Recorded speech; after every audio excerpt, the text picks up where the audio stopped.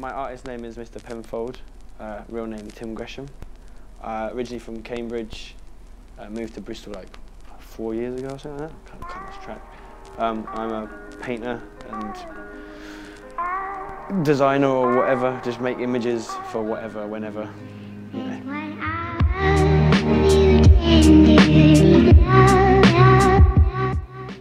When I was like, oof, like 11, I kind of that's when I started to really notice graffiti and like, the whole hip hop scene and stuff like that. Having three older brothers, they were into it, so I kind of got drawn in by them. Kind of joined like a b-boy crew. At the time it seemed so cool. Now it's like the most cringy thing ever, like breakdancing. Like, it's horrible.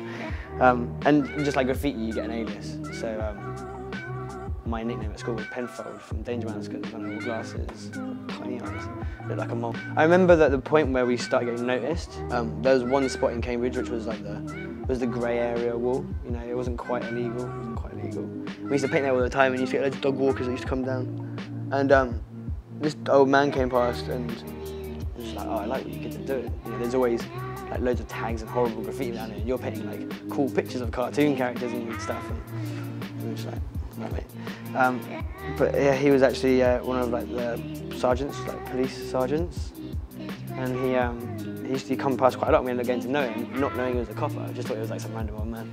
And he ended up speaking to the council and getting us some spots in Cambridge. When I went through a period, or I'm still going through it now, which is like really obsessed with the contrast between colour and texture, and that doesn't come from like sitting there racking your brain. I'm gonna do that. It's, yeah, it's something visual that you observe and kind of goes into your work with. It's like uh, this pattern behind me that I've been doing for quite a while now came from being in America and buying the composition notebooks.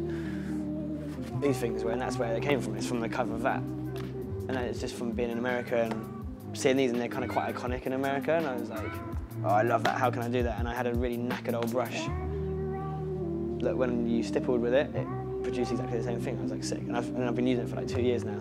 It's the same brush. You can't use any other brushes. That's the only one that does it for me, you know?